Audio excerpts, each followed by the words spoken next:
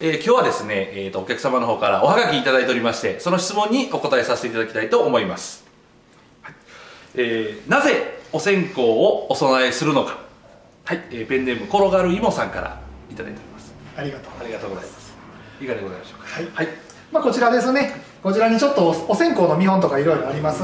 まあ、あの香りとかいろいろありますけども、まあ、同じようなものですけれども、あの一応今回ですね、はい、ちょっと3つほどお話しさせていただきます、はい、まず1つ目ですけれども、はい、まあ、お香と言いますのは、まず炊かれた時に、まあ、僕ら心身ですね、まあ、体を清めたり、あとここのいてるその炊かれてる空間ですね。空間,、空間も清めると言われてます。なるほど。これが1つ目。はい、で次が2つ目です。はい。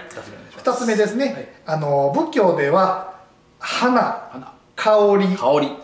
灯火ですね。これがあの仏前供養の基本だと言われております。はいはいはい仏前供養の基本なんですね。そうです、これが2つ目です。2つ目、はい、で3つ目ですけれども、あのお香ですね。お香。はい。お香はこう菊を持って物色となすという、あの難しいお言葉でございますね。はい、っていうのがあの経典に載っております。はい。まあこの意味を分かりやすく言いますとまあ仏さんや亡くなった方ですね、はい、の方がこの香というのが言うたら食べ物ですね。の供養になると言われております、はいはい、まあ、これも簡単にまあ砕いた説明にはなるんですがこのが一つです。